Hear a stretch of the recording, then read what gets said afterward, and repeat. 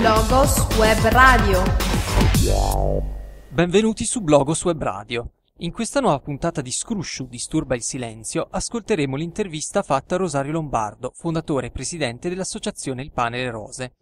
Rosario ci parlerà della nascita delle attività e dei progetti di questa associazione. Come nasce l'idea di creare il Pane e le Rose?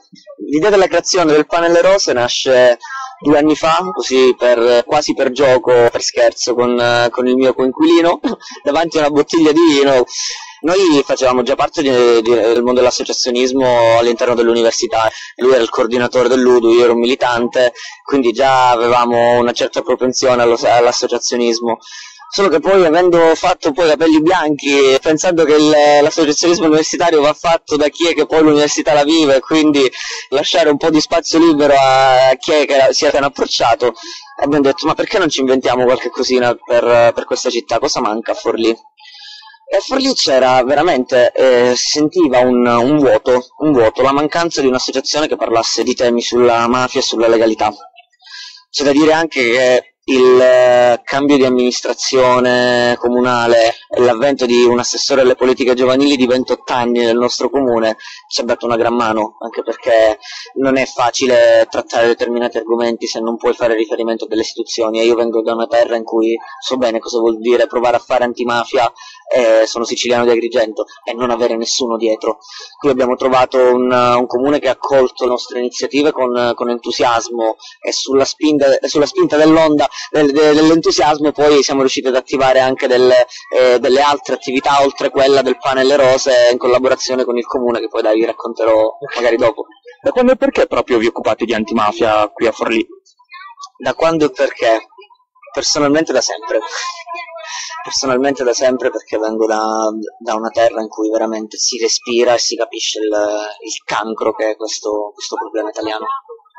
A Forlì, come ti dicevo, eh, per il semplice fatto perché sentivo un vuoto. Girare per strada in una città in cui magari determinati atteggiamenti, determinate espressioni, determinati fatti che succedono se non si ha l'occhio clinico per questa malattia, magari vengono presi sotto gamba, come purtroppo è anche successo in, uh, per molto tempo qui in questa città.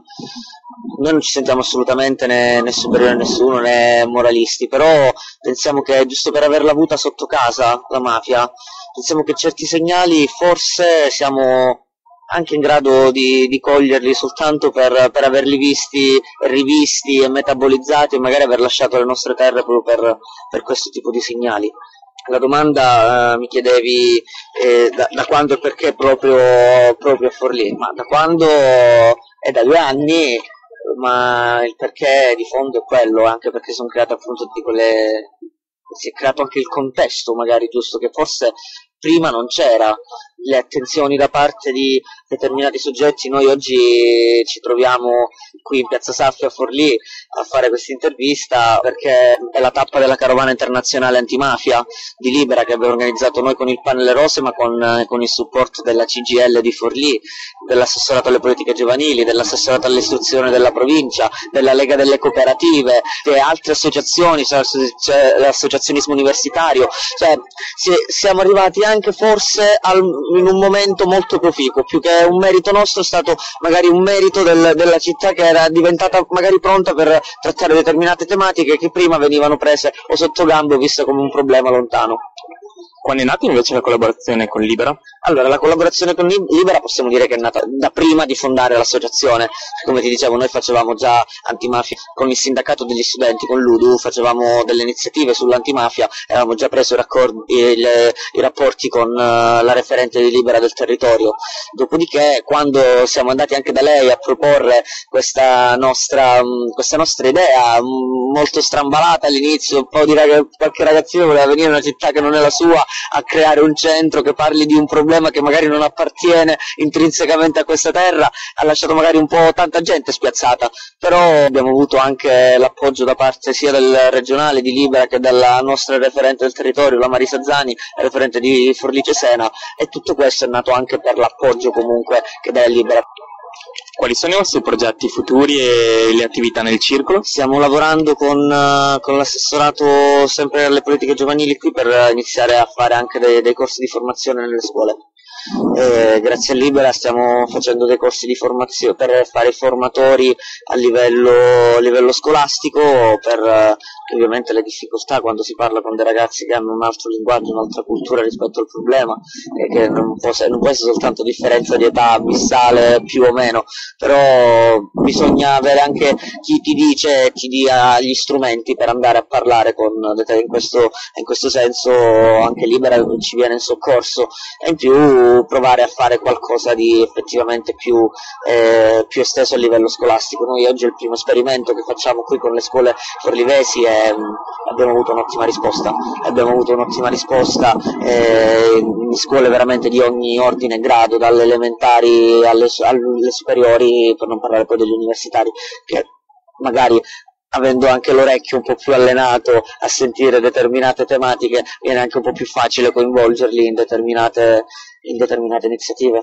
E le attività nel vostro circolo invece? nel nostro circolo invece, allora, per quest'estate nel nostro circolo verranno sospese causa caldo, quindi ci trasferiremo allegramente in piazza eh, perché partecipe- ehm, parteciperemo con, eh, ehm, alla creazione del Maggio della Legalità, la seconda edizione, eh, che inizierà il 9 maggio qui a Forlì con la commemorazione di Peppino Impastato, finirà il 28, con, eh, il 28 maggio con, il, con l'intervento del Salone Comunale del Dottor Ingroia ehm, e la sera il concerto gratuito in piazza dei Modena City Rambler, quindi eventualmente siete anche invitati, poi eh, per chi volesse daremo anche del, eh, ci può anche seguire su Facebook o, su, o sul nostro blog, eh, adesso vi lascerò anche contatti eventualmente, perché le iniziative sono tante, però per maggio, giugno e luglio ci sposteremo in piazza per eh, appunto eh, la mafia parla per simboli, è il simbolo di riappropriarsi della piazza pubblica, del cuore pulsante della città e portare in, in questo posto determinate tematiche è un simbolo, può voler dire anche tanto. Mentre da settembre cosa Sempre potrete... poi ci potete ritrovare di nuovo in corso Diaz al 92 a Forlì, nel nostro circolo, continueremo con eh, le nostre... Allora, noi durante la settimana siamo divisi con una serata universitaria che è il, proprio dedicata agli universitari, che di solito è il venerdì sera, poi, poi abbiamo il cineforum del giovedì eh, e le conferenze che facciamo il lunedì e il martedì. Eh, conferenze su temi di attualità, ci appoggiamo molto alla, eh, sia alle istituzioni che all'università per quanto riguarda i relatori e facciamo grosso modo quello. Noi non, non dobbiamo fare né repressione né niente, dobbiamo cercare di, di parlare di questo fenomeno e di far eh, di spronare la gente a pensare che cos'è questo fenomeno. Non, il nostro compito è quello, si limita lì e non, nienta- nien- nient'altro.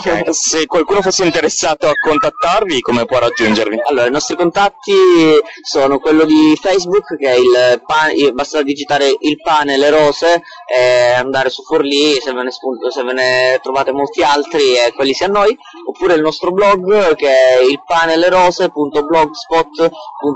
Avete una mail anche? Abbiamo anche un indirizzo email che è quello del il pane e le rose.forli senza accento chiocciolagmail.com L'indirizzo? L'indirizzo è Corso Diaz 92 eh, a Forlì. Ovviamente noi eh, vi ho detto quello che facciamo, ma mh, quel posto nasce proprio per l'esigenza di dare un luogo alla gente che venga a proporre anche della roba.